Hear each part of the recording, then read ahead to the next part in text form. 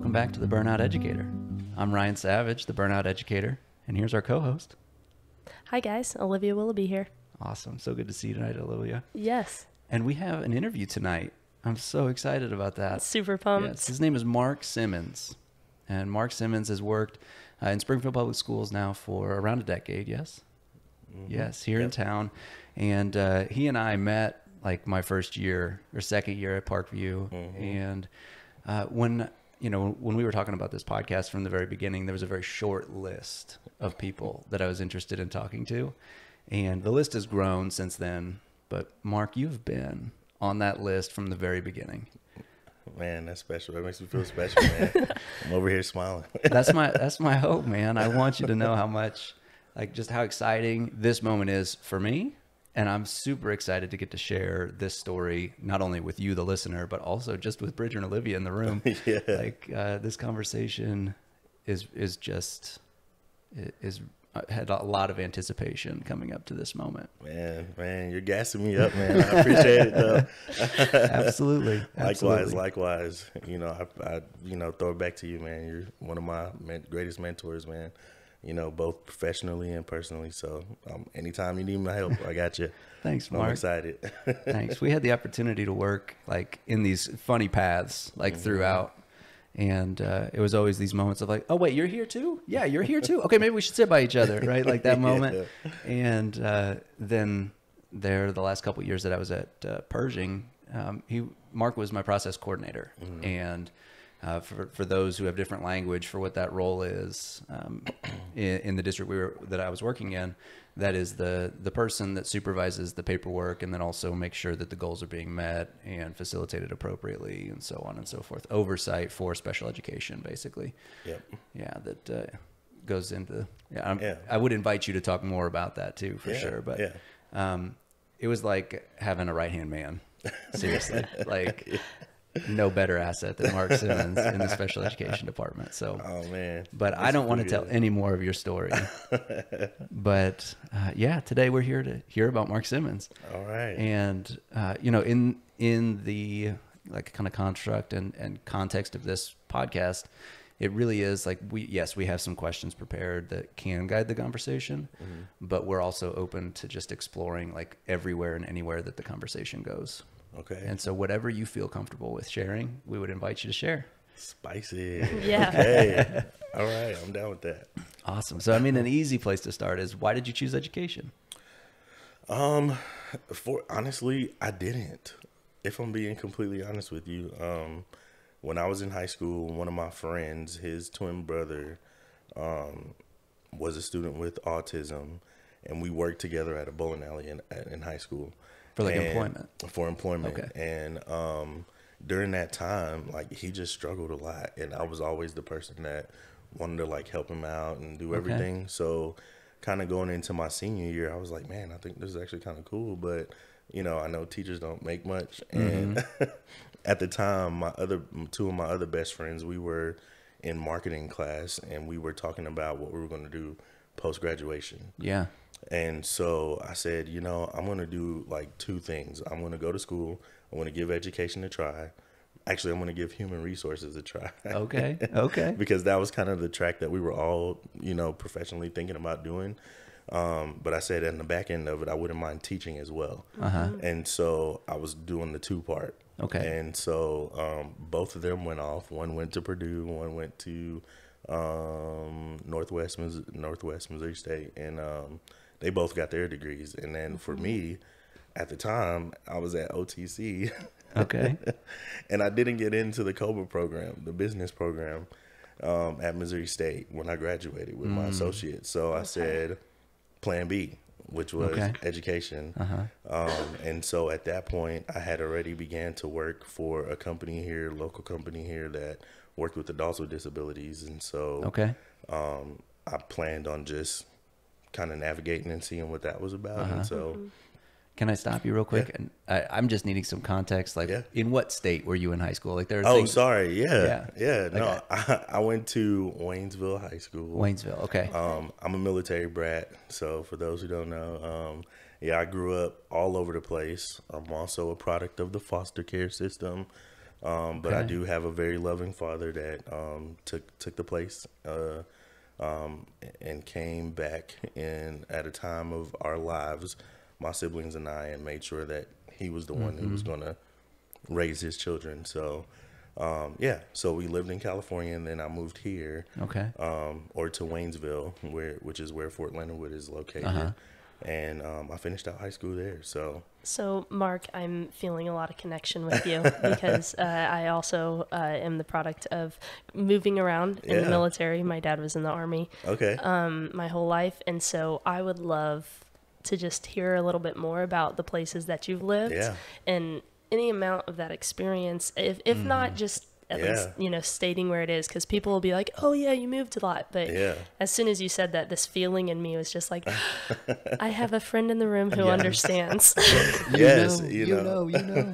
yeah, it's kind of crazy, you know. Um, for someone who's used to moving around so much, I've been in Springfield a very long time, um, really long. Um, but yeah, we've lived. I've well, I've lived. Um, hands down, the best place was Germany. okay. Um, we lived on three different uh, bases In Germany? hmm Yeah, and on t- in two of the bases, my mom and my dad were like, I don't know what you call them. Like they were like these huge apartment complexes, and you had to have a family like manage the building or something Okay. like that. Um, so we had this big old play area that was like on the top level of this What? apartment complex. That's amazing. In what And city? This was in uh, Wiesbaden. And how old were you? Um, I, I was like, oh gosh, we were in Germany from I think like kindergarten to second grade. I think.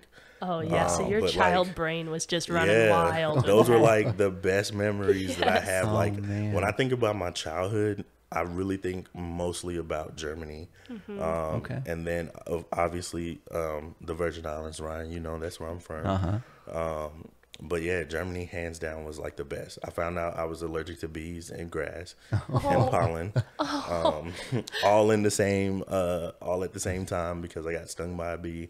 Um, actually fighting my youngest brother over my toy vehicle. You know, like the um, what were those things called? Like the car play, whatever. It was like a red Corvette, and he had like a pink motorcycle or something like that. You know, it was like what our parents could afford. You know, they were raising Yep. six children. You know, my dad was, I think, probably at that time like an E two maybe. Um, so not a lot of money, you know, for raising six children. Um, so we really got whatever we could, you know. And so my brother didn't want that because it didn't look as cool as mine. And so I kind of like pushed him away. Um, my shoe fell off my foot, and I went towards like the sand or something like that, and a bee was there, and stepped on a bee. Oh man. Got to the hospital. Um, face was swollen. My foot, my foot was swollen. Whoa. Um, I re- I remember distinctively the uh, nurse. She uh, brought me like a sucker or something like that as as they were like giving me an EpiPen. It was pretty cool. Um, and then uh, yeah, so that's how I found out I was allergic to bees and grass and pollen. That's crazy. crazy, What an yeah. experience for you to Yeah. remember in that moment. Like, you know, just the way your mind goes. My childhood, Germany was the best. Also, I'm allergic to bees. Yeah. yeah, yeah. Like That's that's that's the moment. cool. Yeah, Yeah. That's, that's the coolest part. Um, but I love Germany. I mean, like everything about Germany was pretty cool. Um, there was like a grocery store um, that we used to go to all the time, and the owner, um, his daughter and son were like our babysitters. Um, for myself and my two younger brothers, and so they owned the grocery store, but their children watched us all the time, and so um, we would go down there and like the original German um, Smurf candy is like the best. like the Haribo version now sucks, but um, You're like, that's not the real stuff. it's not the real stuff, you know. And all my friends who lived in Germany, um, surprisingly, which is another, which is like a really cool story too, how I ended back in high school with some of the people I grew up with in Germany. Oh, that's awesome. Just from that military life. Um, yeah, we talk about it all the time because we're like, dude, like, Yeah. no one knows what the real Smurfs are like. Yeah. So yeah, it was pretty cool. It's like your own little club. Yeah, Yeah. Well, and what a great like I love that so much. and just like what we observed here between the two of you of like you you know, Yeah. you yeah, know, yeah, right? And like yes, it's about the candy, right? Because the candy's awesome. yeah, but it's also about oh you know mm-hmm, mm-hmm. And it's like oh when you run into somebody that's like and you don't have to even have to give words to it Yeah, you yeah. know. It's it's pretty cool. It's pretty cool. I wonder, Mark, like, uh, so that connection that Ryan's talking about, and the connection that I felt as soon as you said that, and for everybody listening, I met Mark when he walked in the door about 15 minutes ago. So, like, you know, I don't know you, but all of a sudden, even though we had different experiences within our lives, I'm Mm-hmm. sure, and lived in different places, just knowing uh, the life of being a, a kid in the military with a parent in the Mm-hmm. military, you know, a dad in the military. Um, felt so much like I said, like warmth within my heart, just like, okay, like I feel Mm-hmm. Yeah. like we could get along just with Yeah. knowing that. Yes. You know. Yes. being an adult who's now Mm-hmm. lived in an area that's not populated um, by the military Yeah. in the way that I know I was used to with being on post, and it sounds like you were as well. Um, I just wonder what type of connections you find in the classroom with Mm-hmm, kids on that basis, um, and like where that's taken you within your teaching. Yeah, definitely. I would have to agree with you with what you said. Um, just because you can always tell, like that's always been a running joke too, um, between my friends and I. Like when we went to college, we were like, okay, we're these military brats branching off, you know, going to places where we're no longer protected, um, and just even like the the personality traits are different. The way we communicate with, uh, you know, people are different. Um, and actually, when I moved to Springfield, that was one of the things I struggled with the most. Um, because I mean, clearly you can see I'm like a big teddy bear. Um, I do have a mean side, not always there if it's not not necessary. But it takes a lot to get that it- out. it does. I've It seen takes it, a but not lot. many Yeah, times. it takes a lot, you know. And so, like, you know, yeah. So basically, you know, how that you know transpired in the classroom or can compare to the classroom. Uh, I struggled. My, especially my first year, I struggled, and I was a behavior teacher. Um, I did that for five years, and you know, we grew up with you better respect your parents, or Yes. you know, Oh, you so were joining them, you know, for PT in the morning Yeah. as a consequence, which I've done a few times. Um, you know, so that was one of the things I struggled with the most as a one as a behavior teacher, a 1st year behavior teacher, um, fresh out of the military life lifestyle, and then into the classroom. Yeah, it was it was weird. Yeah. Um, but you know, it always was a relational piece when I would get onto the students or reprimand the students uh, as to why I was doing certain things. So that was like the good thing was I was always able to give a rationale, you know, um, while allowing them to naturally kind of be themselves within that moment as well. So yeah, good question. Thank you. no, I love that. That I think that brings a lot to light. You know, you saying, you know, I'm giving that rationale. Like, I'm not just reprimanding a kid just because, mm-hmm. you know, I know mm-hmm. what's there. Mm-hmm. I know what I need to say because this is, you know, inappropriate or not going to happen in this classroom. Um, but here's why, and let me share how much I love you as the reason why I'm doing Yeah, this. yeah. It, it it comes from like a very understanding standpoint, you know. Um, and for me, I've always been able to relate with the students in some kind of way, um, because like I said, I, I'm a product of the military, um, the foster care system. There was a time where you know I, I was in foster care. Um, you know, some students would always tell stories about certain aspects and things that happened to them as a child that I could obviously relate to.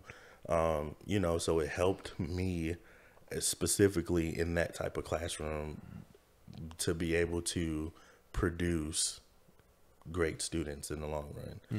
Yeah.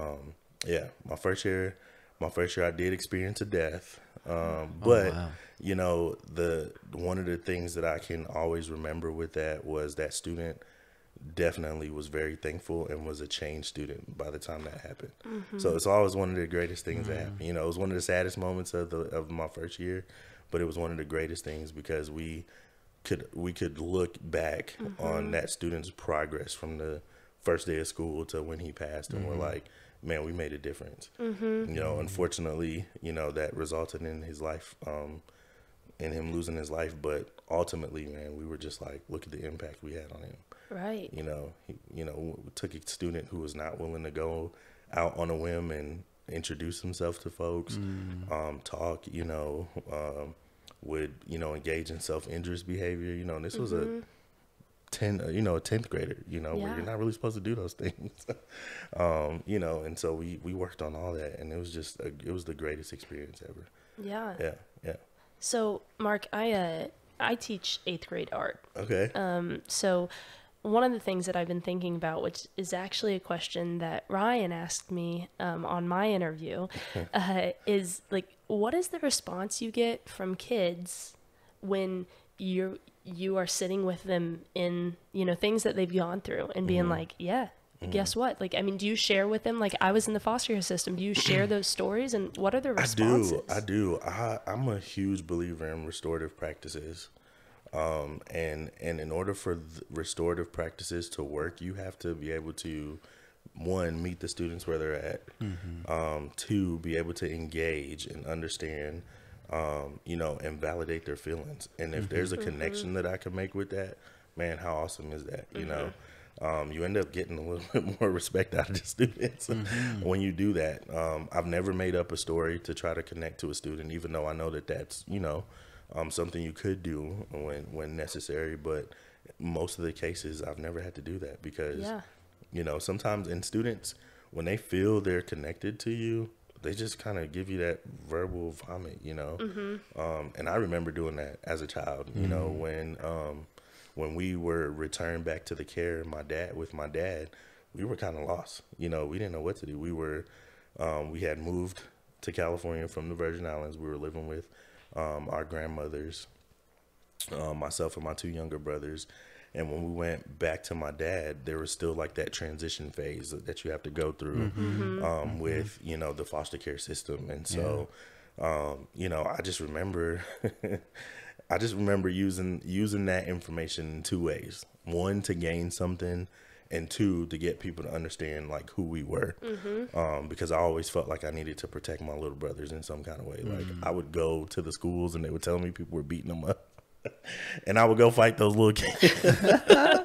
I would go fight Yeah. those kids. Like you're not about to mess with my brothers. You don't know what we've been through. You know. Um, but yeah, any chance that I could get out of something, I would tell the teacher like, "You don't know what's going on," you know, knowing I was making up a story, but you know, definitely told a story of what was going on during that time in my childhood, and so um, one of the things I've always been grateful for though is someone in every aspect of my life has always seen something different in me um, and have held me accountable to that. And so, you know, I have like several people that I have to thank um, over the years who who really kept me grounded. You know, so yeah, yeah,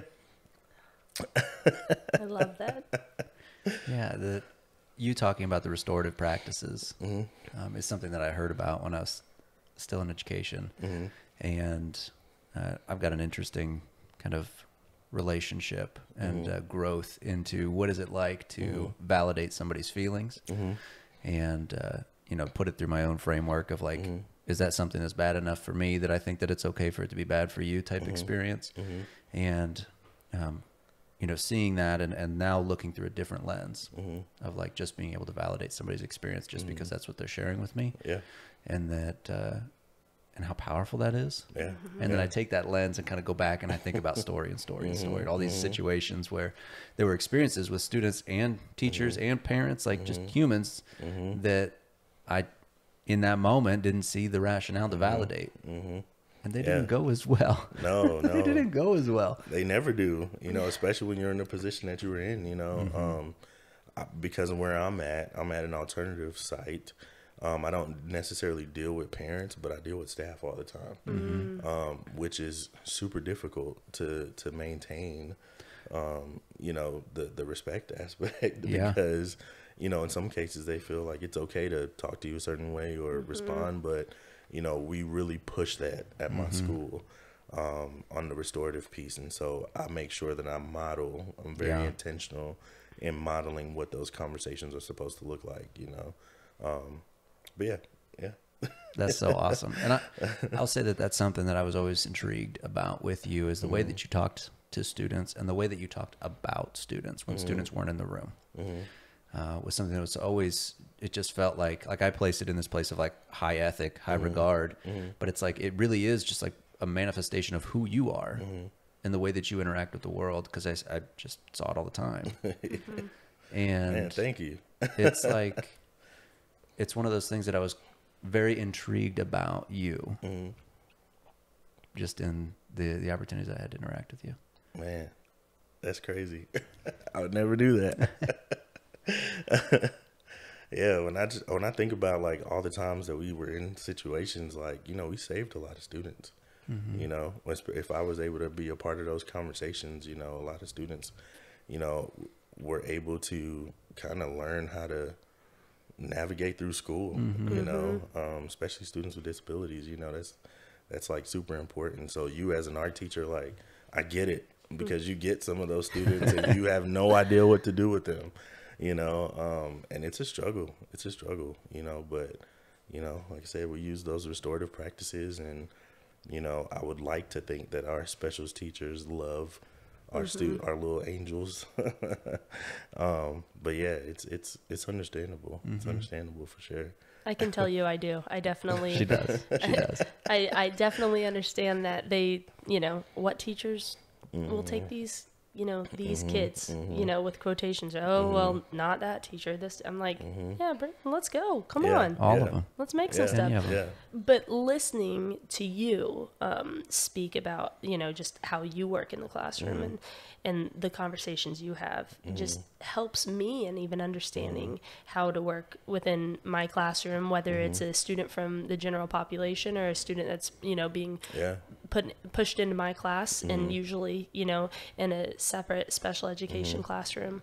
Um, super just very interesting and Mm-hmm. and yet again super humanizing to the student which i feel like is exactly what ryan was saying i mean and and hearing you speak about your students um they're just other humans Yeah, yeah. It's hard to do. Like, I mean, it's a practice, you know. And I mean, I've like I said, I can, you know, my schooling was was awesome. my professor, you know, she treated me like I was one of her children. You know, um, I met at her Missouri State. at Missouri State. Yeah, I met my. Um, I have to say my favorite professor named LGK. I'll say that so that way.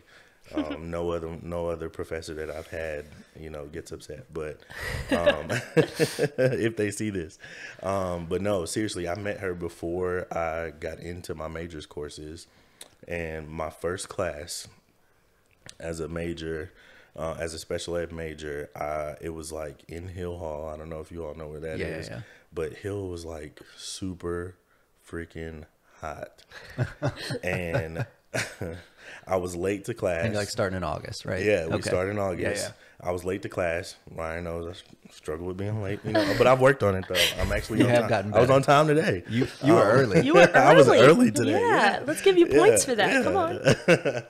on But yeah, so the class was like on the fourth floor. Um, so by this time, like I'm out of breath, and I'm trying to find the class. find the class because it's the class that has the most students in it. A big old fan blowing. I have my backpack, my jacket in my hand because I heard it was going to be cold, but it was the opposite. um, and I walk into the class, and she's like, "So nice of you to show up," you know. And I instantly, without much thought, um, kind of look and I'm like, man, it's hot and then it's hip up in here. And like three of my friends who were who were in the classes, they looked at me like, what the hell's going on? You know, uh, Yeah. it was super funny. And she was like, okay, now that we got that out the way, can you find your seat, sir? You know, she, you know, and she knew me. Um, like she knew of me, but that was my like my first official class Uh-huh. with her, and that was our first like real interaction outside of In hey, front of all these you know, this is my friend so and so. He's a sped major too, and so it was kind of funny. So then I had to walk in front of the entire class because the only seat that was available was on the first row on the far left. It was the second seat, or I think it was the third seat, and literally made so much noise just to get into my seat. Oh. what a way to enter a class Yeah, it was crazy. It was crazy. But after that, like she realized that I was probably a behavior student for her, um, and she must have saw something in me because that lady literally got me through my undergraduate and my um, graduate studies. That's Um, amazing. So yeah, yeah. So I owe a lot of that to her on how I finished school and how I really can relate to students because she offered me that same grace um, multiple times over um, with students, and so yeah, Mm-hmm. yeah, That's awesome. I'm I'm interested to to hear about um, like the experience of of receiving notification that you didn't get admission into the business school, mm-hmm. Mm-hmm. and then what? Who who did you have for support? Because it sounds like you know, and- mm-hmm. and I I moved around not nearly as much as the two of you, but I did as, moved around as well, and so there's this like loss of support systems when you leave places. Yeah, yeah. And so even if you had you know support in Wentzville, who was your support when you came to Springfield? How did you handle like that experience of making that transition in, and then what was it Yeah. like? Like was it excitement? Was it frustration? Was it? No, it was like defeat, man. Um, I moved, so I moved out of my house when I was 16. Um, hadn't lived at home since. Uh, so when I came to college, it was like, okay, let's let's do this thing that I'm supposed to do. I didn't even want to go to college, to tell you the truth. Um, and at the time when I didn't get accepted, um, my dad was in Iraq. Um, I believe that was his second tour at the time. Um, so, and we weren't super close. So it wasn't like I could call him anyway and be like, yeah, I didn't get in school. Honestly, he didn't care. um, but, you know, that's how military dads are, supposed. you know, it's kind of supposed to be. They just don't really have feelings. You know, and so I really didn't have anyone who uh, I could talk to, but one of my best friends lived mm-hmm. here in Springfield, and he was at Missouri State. So I called him up, and I was like, "Man, you got to come over." Mm-hmm. I'm like super mm-hmm. sad, man. Like I didn't get into the business school. Like, what am I gonna do? Um, and when he came over, we like he like cooked the cooked a meal for me. Oh, awesome. Um, and then we just sat and talked like the whole night. Like that's like that was all we did. Um, you know, um, yeah, one of my one of my best friends. Uh, shout out to KJ. Um, um, but Thanks, yeah, KJ. Yeah, He yeah. sounds like a great guy. Yeah. He is. He is. Um, we call ourselves the Special Six. So, kind of going back to you know Yeah. how I, I grew up with some people in Germany and ended back up with them in high school. So, um, there's six. I have five guy best friends, and we call ourselves the Special Six. That's awesome. And of the six of us, three of us have the same birthday. At one point in time, we drove green vehicles, and all of us had like an obsession with like strawberries. Um, and then two of us lived in Germany at the same time. Like my, one of my best friends, um, his name is Frankie. Um, his mom was actually my dad's drill sergeant wow. um, when we were in Germany. So crazy, right? Crazy Yes. how life just kind of throws that at you. So yeah, it was pretty fun. And you guys all went to Waynesville High School. And we all went to Waynesville. We all Waynesville, finished up. Waynesville, okay. Yep, we all finished Yeah. up in Waynesville. So met met KJ my sophomore year. I think he was a junior, um, but he like fit right into our friend group like Mm-hmm. almost immediately. And you know, on military bases, it's like. Who's your neighbor? yep.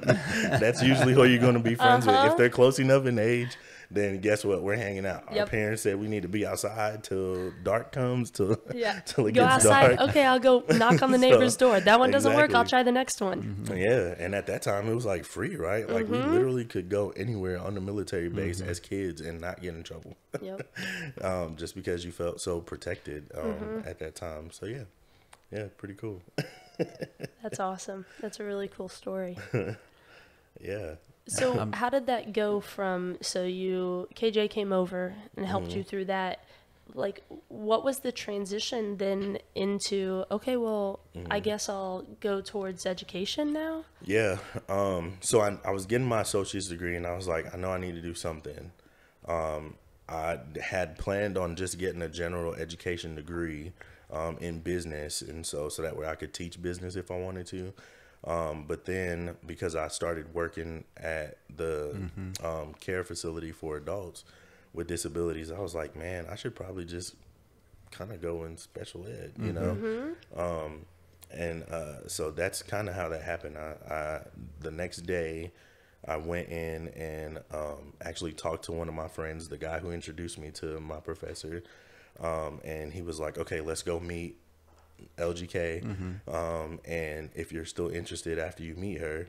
You know, then then let's go ahead and do it. And I was like, all right, you know, it's kind of you know scared of this lady. She heard she was like a big deal, um, and so we met her. I met her um, went to um, the bursar's office that next day and then um, talked to my counselor and I was like, hey, I think I'm gonna just get out of the business program and I'm gonna start here, but I would go, I'm gonna go with College of Education and go for special ed. So my counselor um, at the time, she was trying to pull my transcripts and make sure I had everything. But it was a smooth, smooth transition into education. Yeah. So yeah, yeah. That next day I was like, man, I just can't, I can't fail.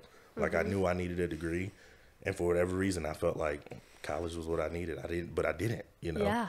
We have so many kids that feel like they're forced to go to college, and um, you know, I don't regret it, but it was one of those things. Like, man, I wish I had someone who could really say, like, man, you have options. You know. Mm-hmm. Mm-hmm. Um, but yeah, so that's how that that's how that happened. So I'm interested, like, think of, I want to ask this question more Mm-hmm. so in the framework of like, what is your relationship right now with education? And how did you get there? Career, um, a job, a joy? you know, right now I have a love hate relationship mm-hmm. with education. Okay.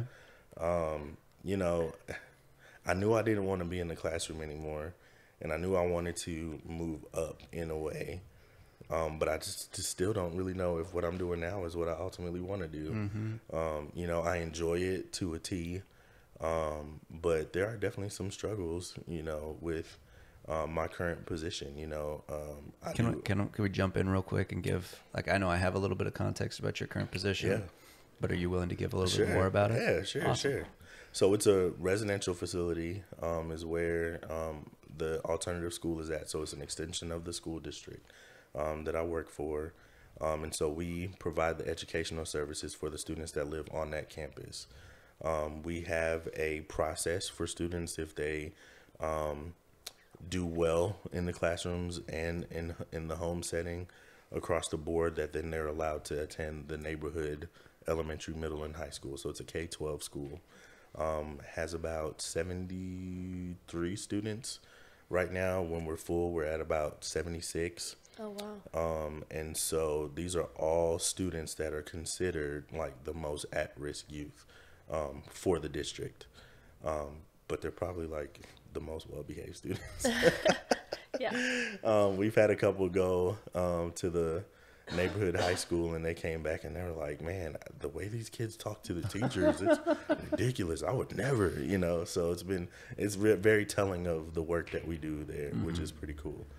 Um, but yeah, How many years have you been in that position? um, this is my 2nd um, and with the position, so my role is technically the leader of the of the school, but the district doesn't recognize it in that way.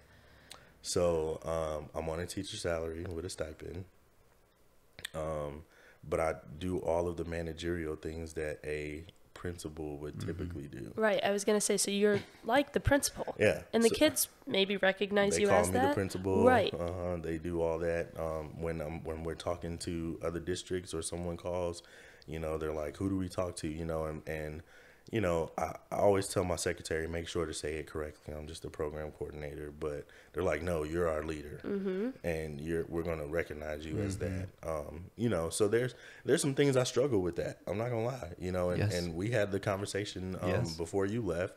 Um, you know, of what that was going to look like for me but i felt like if i wanted to grow and and expand my career opportunities then it was something that i needed to do. Um and and two years later based on the amount of work that i do um it doesn't equate to the pay. Um, but i love the job and i love those kids and i relate to those kids. Right. and so ultimately that's where I have my why, you know, um, is is that is that you know the pay piece it'll come eventually, um, maybe not here in this district, maybe another district or another state, um, but you know, um, I, I love those aspects of it. Yeah. But but the the managerial pieces I struggle with a lot because there's just really no support um, on that end. what I'm hearing from you is just something that I, I feel like, you know, a lot of teachers will talk about, but this is hearing from it from your perspective um, in the school that you work with uh, is just another aspect of like, what a struggle. I love my job. I love my kids, the people I work with, but it's really hard to be the human that I want to be and like make an actual living in order to even provide for my needs, not to mention anything outside of that. Oh yeah, definitely, definitely. Ryan, Ryan knows. He knows that I'm, I work I'm like a slave, man. Yeah. I've I've always had 2 plus Mm-hmm. jobs, um, and this is the first year that I haven't. But basketball season is starting up, and so um, that's where I have Ticket yep, taking? Yep, What are you doing? scorekeeping, scorekeeping, Scorekeeping. scorekeeping. My favorite, being front row and center. I can't coach anymore, so why not? You know, why not be a part of the game? so can you not coach because of your position? Yeah, Which and is that's been- another thing with Yeah. like, Mm-hmm. okay, why don't we name you as the principal and pay you as such? Yeah, If we're yeah. gonna take away the extra, you know, Yeah. like coaching abilities. And Yeah, things. yeah. Those things are supposed to be worked on, you know. Um, so I've been told. Um, but, you know, neither here or there. Um, hopefully it will happen at some point, and I don't know when that will be, but, you know, I try not to make that the focus of my work, but I do challenge it in ways that um, help me understand you know like when i'm supposed to be there you know? Like i don't show up right at 7.30 like no one else.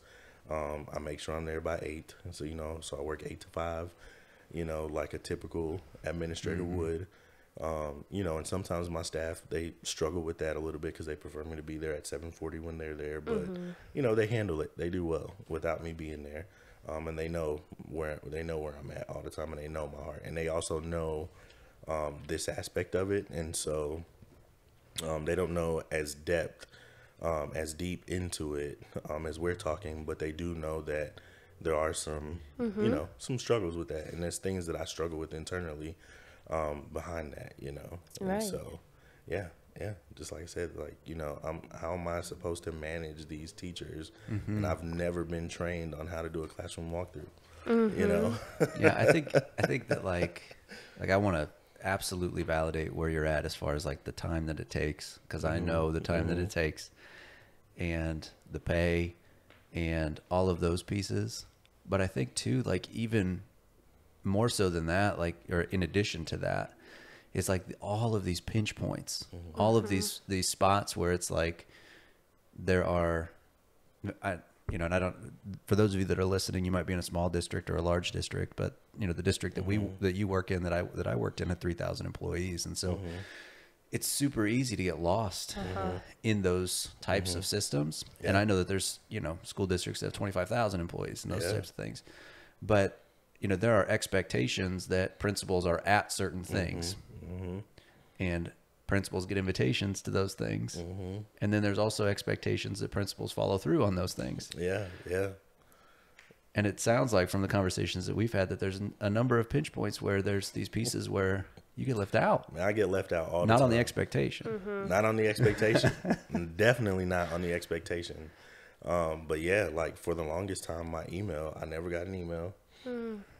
Um, you know so half the time i would get these emails from different personnel yeah um, over at the big office you know and because there's a uh, list serve that's called middle school principals Mm-hmm, yep yep and you weren't included on I that wasn't one. included on that one or elementary or high school. Mm. Um, you know, and it and it took a while. It actually took me speaking to other principals Mm-hmm. and them advocating for me to say, "Hey, why is this guy not, you know, a part of these conversations? He's a building leader, Mm. you know." Um, and the person who was in the position before me went through the same thing, but you know, without speaking on what his path was because I don't know ultimately what it was.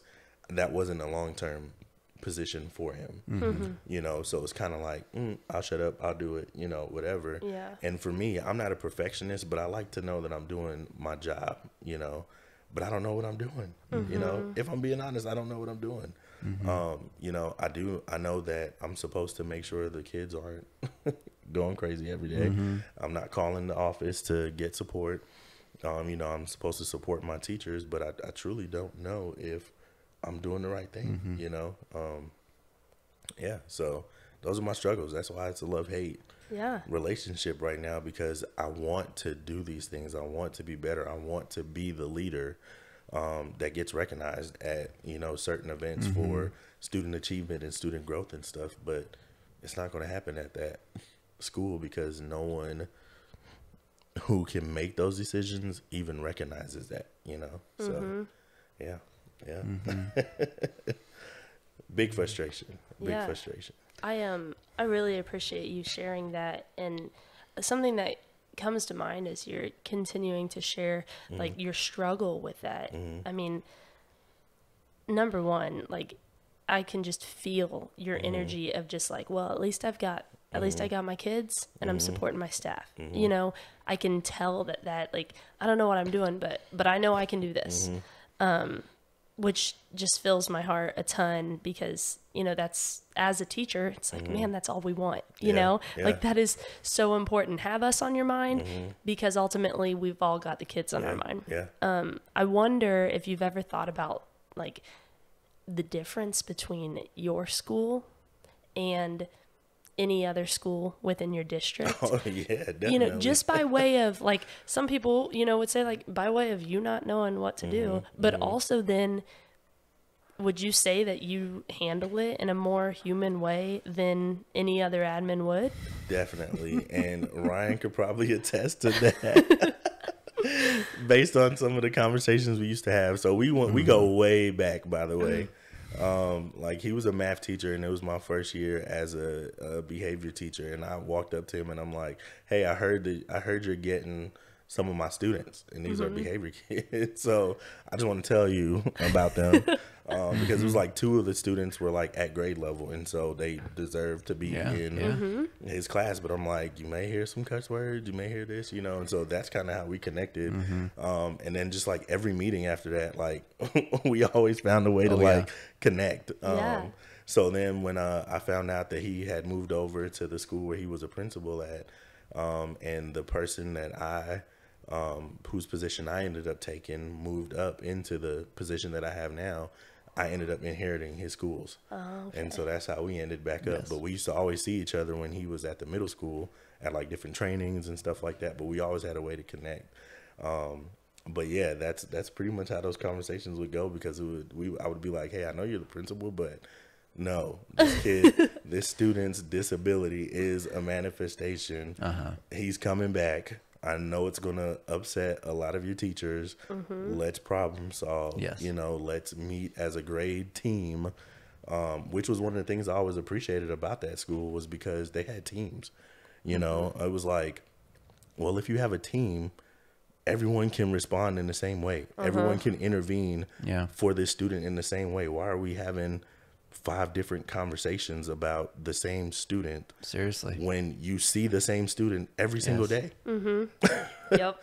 you know and so you know i would approach it like that you know and sometimes you know ryan would give me the look like but this kid is doing this he's doing that and i'm like i know man i know but i guarantee you if we take this to a form b or manifestation or the parent says you you know you you my son has a disability you can't do uh-huh. anything i'm like dude i'm gonna say respectfully i'm not the building principal All true. All true. Mark Simmonds is a very honest man. He'll shoot you straight, no matter what. Uh, yeah, so it's just like I, I'm okay to go with this however you want to. Yes. But I'm once I do my side and I get the paperwork done, you know, you may temporarily not see the student for a day or two because of how busy I am, but homeboy's coming back. yep. so, yeah, that, it's those conversations I had to have a lot. Mm-hmm, I bet. Yeah, I. Yeah, I. Uh, there's this one story that's just sticking out to me that I feel like, you know, what I what I had the opportunity to experience. I mean, one, there's just this like. This, um, just uh, just awe that I have about you, um, in the way you tell your story and the way that you experienced that kiddo in, at the bowling alley when you were in high school, and then the way that you were in employment, working with individuals who needed a little help, and that drove you into that path of special education. And I saw mm-hmm. you working with the students in your classroom at, at Parkview when we were mm-hmm. there, and I saw the way that you worked with them, but I was still terrified of it, even at that point. And like I found ways to navigate working with the students that came from your mm-hmm. classroom, um, because it, you know, I saw like what the what the discipline process looked like, and was like, this is this isn't going to change this kid, mm-hmm. or maybe a relationship will. I might try mm-hmm. that, mm-hmm. and sometimes it did, and sometimes it didn't. But what what I'm so like just really enamored with is your like attraction. That's how I feel about it. Is like your attraction to working with students with special needs and disabilities because I was terrified of it. And I, it wasn't until I had an interview for my middle school principal, assistant principal job, and that interview was like two hours long. And uh, in that interview, it was like this scared straight experience of like we have you know we've got css we have ebs we have mm-hmm. deaf ed mm-hmm. we have behavior challenges mm-hmm. at this school. And are you going to be able to handle that basically? And like went through like war stories of like this is what we were dealing with this week and this week and, and and it was just this moment of like and i can remember he even asked me the question will you work with our with with our students and i was like mm-hmm. well i work at the the high school that, that this middle school feeds to so your students are my students so i don't know what you're talking about but yeah, of course i would because i've been doing it for five years Yeah. but there was this experience of like I walked out of that going, I don't think I have the chops. I don't think I can do it. This special Yeah. ed part that he's talking mm-hmm. about, I don't know. Mm-hmm. And if I could go back, like if I ever go back to education, it's in special ed. Mm. Oh man. And so like your like that is so valiant like valiant to me. Like just I just see like just the truest part of you in your attraction to work with students with disabilities Oh, thank and I you. Mm-hmm. feel it now, a decade later. and so I don't remember why I was going there, but to me, it was just this like when we would talk about students, we had that same felt sense. Mm-hmm. And when we generalize that conversation Mm-hmm. out to everybody that you have to have the conversation with, right? Because you have a handful of schools that you send kiddos to. Mm-hmm. And what's, you know, in your current position, you're working like the goal for those kids is to meet the expectations so they can Mm-hmm. achieve the opportunity to go into their neighborhood to school. go to neighborhood school. Yeah. Yeah. what are some of those conversations like? Um, with the students or with you know like the staff. Whatever you feel comfortable sharing about. Um, well, um, in the most recent conversation, um, the middle school um, principal was not interested in accepting any of our students, which is which was um, disheartening um, for the simple fact that that school is essentially a struggling school with the same population of students. So I was like, "It's really no different. You're not getting any difference of students, so why can't we just add a couple more? um, you know, I was like, you know, you're getting them anyway, but you know, I, for for the sake of having a conversation and being, you know, uh, collaborative, let's Yeah. let's have this conversation. The other two schools, very welcoming, opening. You know, love our elementary students. Um, I take them to school every day that I'm at work. Like in the car line? Yes. No way. I way. do. I do. Um, I do. Oh. Um, and it's right now we have two that go. Um, both of them are fourth graders, and I they cannot like. imagine what it means to those kids to be car line kids. Oh gosh, they love it. Dude. I bet. they love it, especially and especially if I'm late, and they always know that I'm having a conversation with someone, so they're like waiting at the door, like Oh, Principal Simmonds, it's time to go. Um, you know, and I'm like, all right, come on, hurry up, you know. Mm-hmm. Um, and they're always looking at the time, so I always have to like leave my watch on for them so they can Mm-hmm. see in the back seat. gosh, that's such an experience for them. I'm yeah. sure. Just Yes. that'll stick with them Yeah. forever. Well, it started out like okay, between myself and the teacher, we were going to make it work for the first week of school. Um, but we have we had 11 students overall earn the the privilege of going to the neighborhood school, so it became this like huge transportation issue. Yeah. Like Yes. we know they can't get buses because of the most recent transportation change.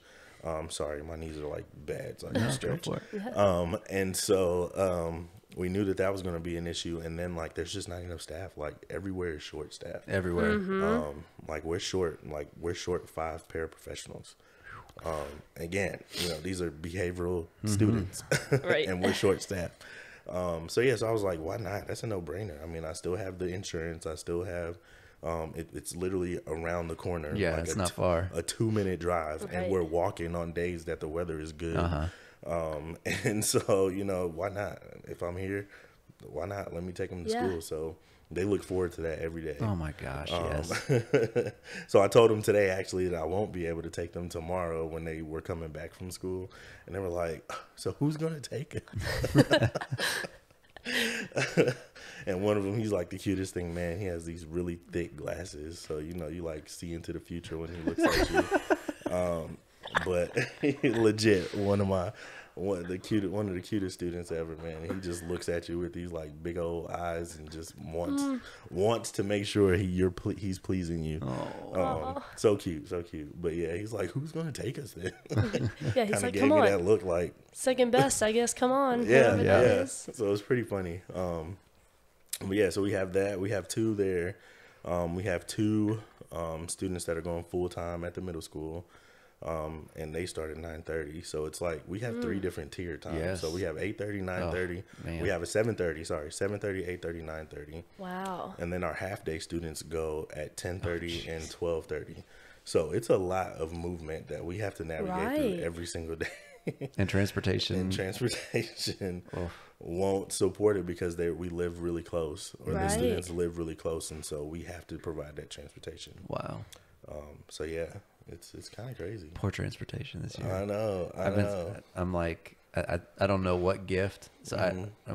I, I really liked sitting by the director of transportation when mm-hmm. I was there. yeah and uh, I'm feeling for him, man. Mm-hmm. yeah he's been driving buses I'm sure he has. Oh. Yeah. They're so short staffed, Yeah. and the schedule change. And Yeah. I, I'm gonna send him a gift. I yeah really am he- because you it's know like he'll probably appreciate that I'm too, sure he would. I, I can't Yeah. even imagine. Yeah. Oh being gosh, it's a headache. I'm Yeah. sure. We've we've texted him a few times myself. Um, last summer I had the opportunity of being the um, the summer director for special services, um, which is essentially like running the district for special ed over Mm-hmm. for summer programming. Um, and got to build a relationship with, with the director of transportation. and he's a great guy. You know, we myself and my um, assistant were always like, "Hey, we're thinking of you. Hope, Mm-hmm. Oh man, no kidding. we know you're struggling, but this summer we promise we'll be on Yeah. top of it. Yeah. Probably won't be, but Yeah. you know, yeah. So it's pretty cool. Yeah. So there's one question here at the end that I think is is like I- I'm just really interested to hear your thoughts on it. Okay. So so what is it like to work in a system that's perpetually labeled as broken? Who or what is the problem? And who or what do you believe is the solution? Oh, that's a question. That's a loaded question. Um, I can't really pinpoint one simple thing because if I have to relate back to you know some some teachers would say, well, it's the parents, it's the home life, it starts in the home. While I agree, that wasn't the case for me. My home life sucked. So being in school, those six hours a day was like the best time of my life. You know, um, some of the look, I'm about to get cried thinking about it. Um, you know, some of the most influential relationships, teachers, you know, they fed us, they cared about us, they cared for my well being. I had teachers, you know, buying me things. Um, you know, and so really just trying to get educators like it's it's the hardest job, but it's also the most rewarding job ever. And you know, one of the things that I think has kind of been lost um, with the high demands of education is the relationship piece. Like you you have to build a relationship, you know. Um, and and we focus so much on the negative that we really forget that we we can also be positive. Um, you know, um, one of my friends in college did a study on positive praise statements.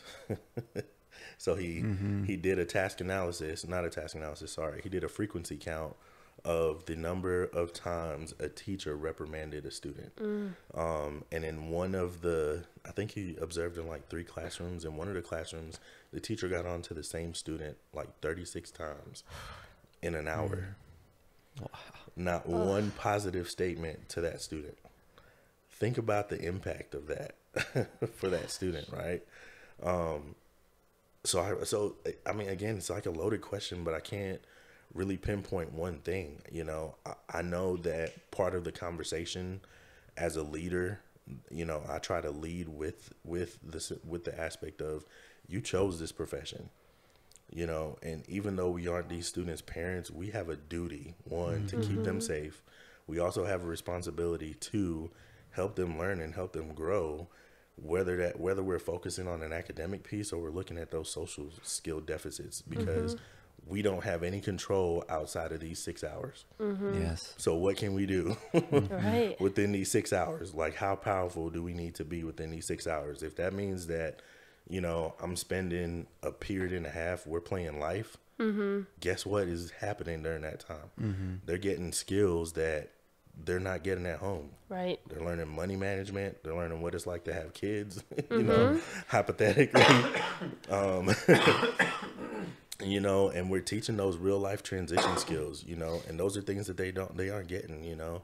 And so my my goal and my focus, um, especially when I'm talking to my staff, is just really saying like, you know, let's let's gut out all of the frustrations and struggles you have, and what's the ultimate focus here?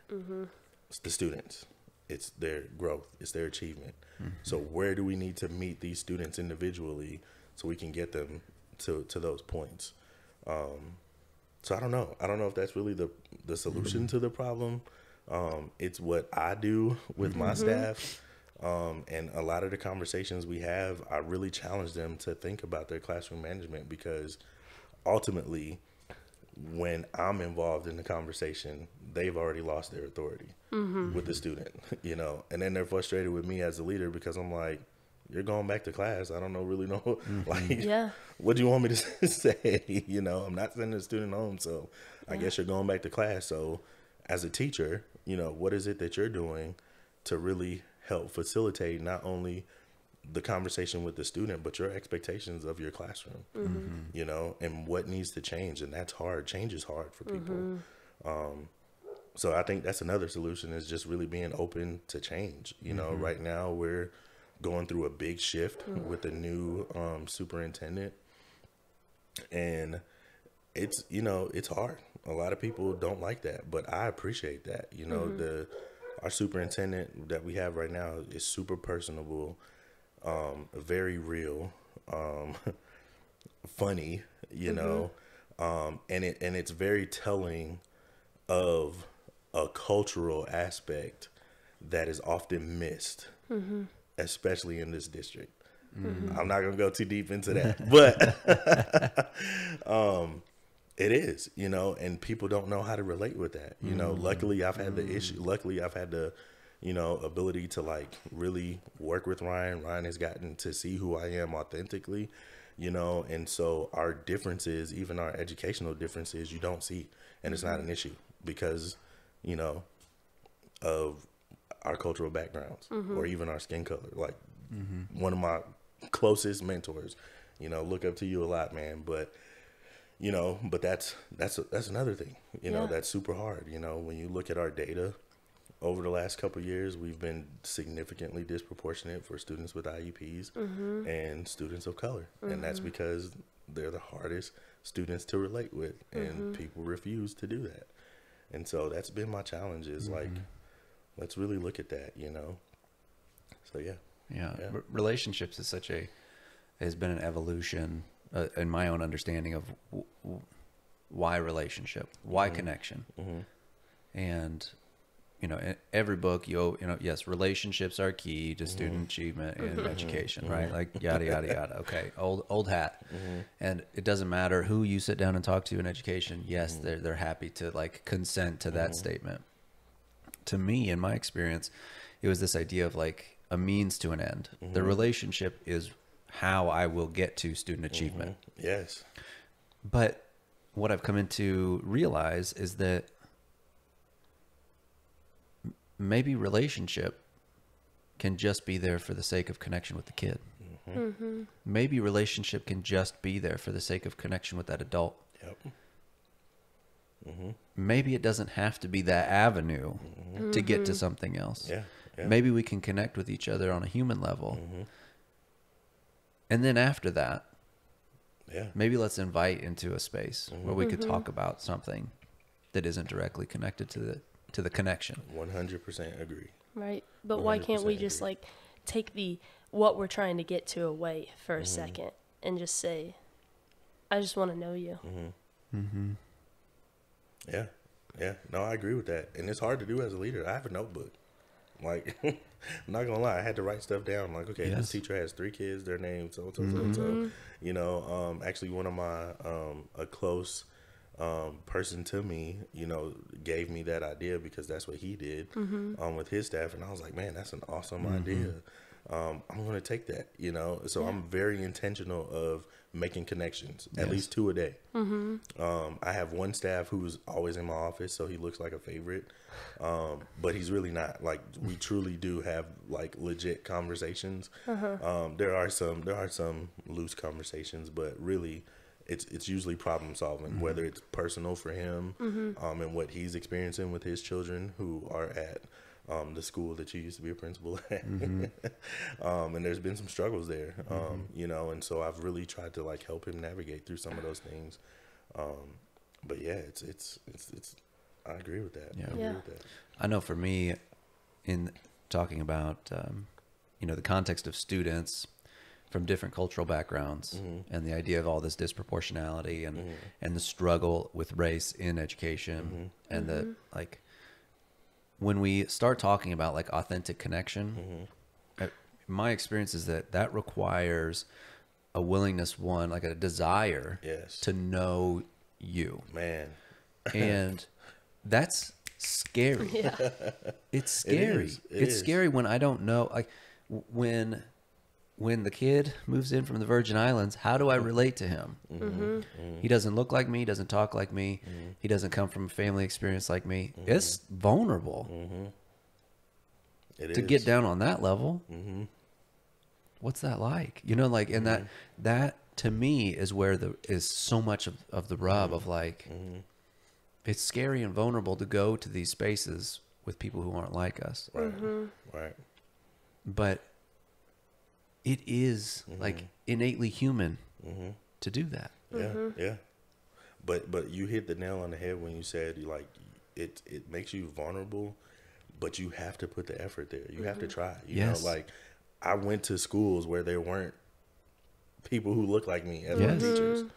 You know what I Yes. mean? Like and yet I enjoyed every Mm. educational experience I had even through college. Mm-hmm. you know um, because those teachers understood the assignment you know that's like a new term Yes. um, nowadays. My students will love that. Um, you know but you know they really understood the aspect of you know and i think that that goes back to like our military background of just there's a uniqueness of growing up in the military um, because even if you feel a certain way, whether that's you know like religiously, you know where your politics are, you know, or or how you feel in general about cultural backgrounds, it doesn't matter in the military, Right. Because we all have to work. Everyone has a same goal. Mm-hmm. You know, I didn't experience any any racism until I moved to Springfield. You know, and that's literally from childhood up into adulthood. My first experience with racism was when I moved to Springfield, Missouri. You know, That's what I was thinking when you said like in the military. Like, I mean, no matter where I lived, Mm-hmm. my experience was one of like I didn't know Mm-hmm. race or background or like you move to a place and you absorb it Mm-hmm. and you're living the life of you know your parent Mm-hmm. almost and everybody's just living that life yeah, and yeah. so, yeah, I felt that same thing. And the way you're talking about it is Yeah. Mm-hmm. so real in my body. Of I moved to Springfield, and I was like, "Who do these kids think they are?" yes, it was And rough. and I looked like them, so I can't imagine Mm-hmm. the way that you felt. And I'm trying right now to just embody and wonder because I hated it, Mm-hmm. and I could blend in, and so I just I want to honor you so much in that because I can't imagine because there were mm. places that I lived that I did not blend in by the color of mm. my skin mm-hmm. or you know where I came from. Mm-hmm. And I had no idea that I didn't Right, right. because we all had like you said that mm-hmm. commonality that nothing mattered and I didn't feel it at one point you know?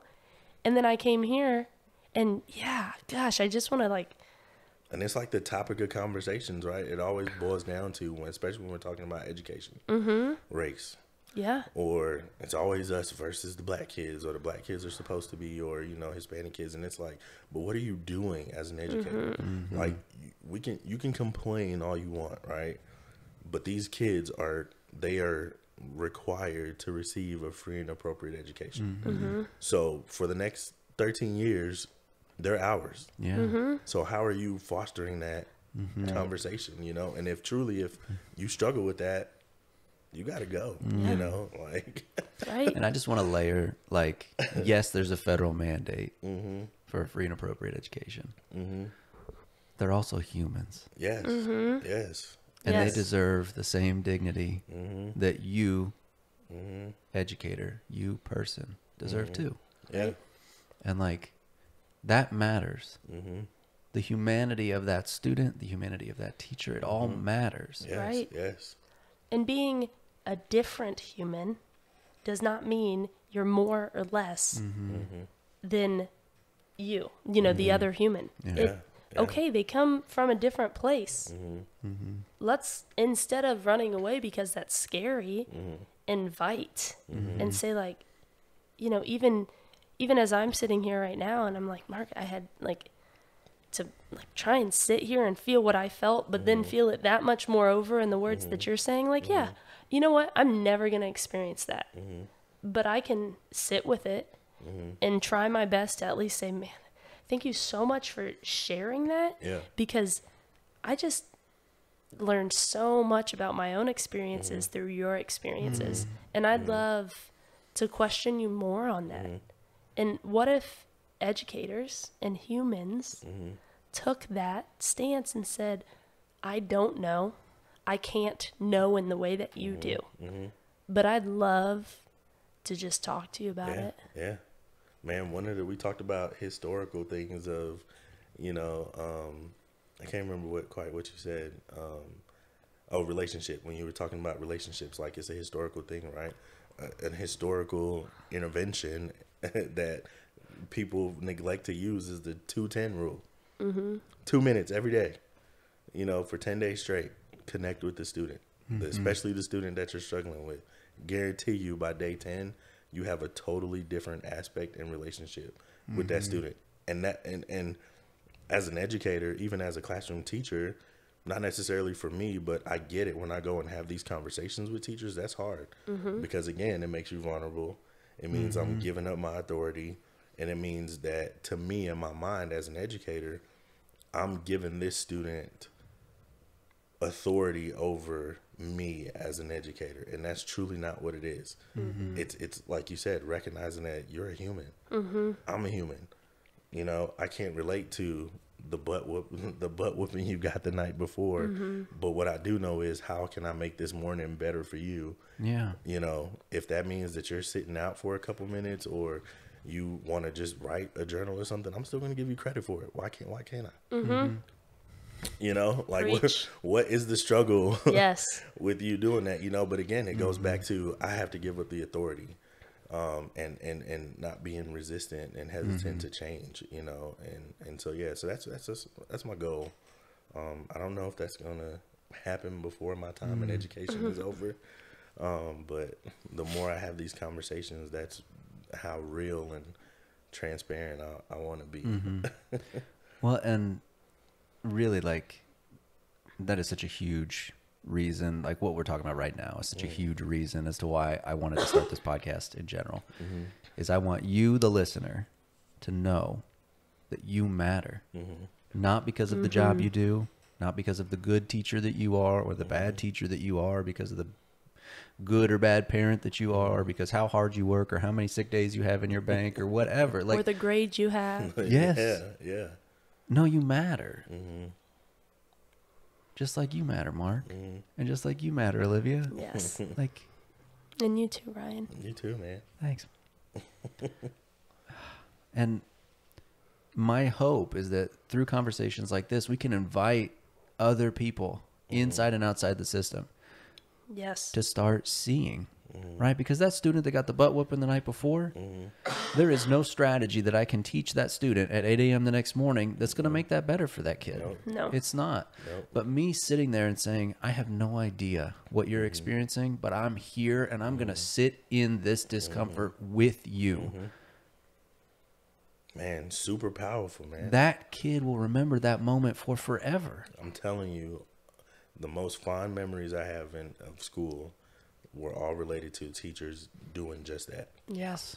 You know, my, my my English teacher, one of my favorite English teachers, literally used to go to her classroom every day and get a pop tart because she knew I worked and she knew I wasn't living at home.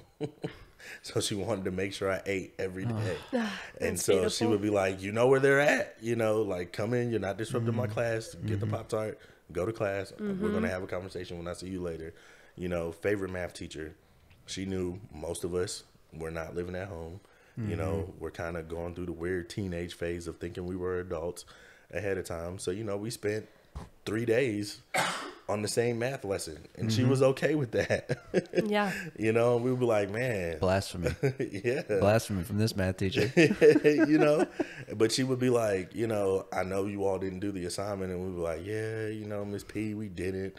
You know, I mm-hmm. tried some of them, you know, but math was always a struggle for me. So, you know, I knew, I knew.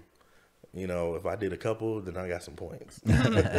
but I knew there was like three people who didn't do anything, so at least I wasn't the mm-hmm. worst. Mm-hmm. but yeah, you know, it's it's it goes back to that just being open to what it is that student is truly experiencing. So I mean, it, it, it speaks volumes to what you all are doing here, and why I'm like, hey, count me in. Mm-hmm. You know, awesome. I'm I'm I'm all for that um, because it's it's it's a skill that's missing today. Mm-hmm. You know, mm-hmm. with all the demands in education that I feel shouldn't go, you know, mm-hmm. shouldn't be gone. So yeah.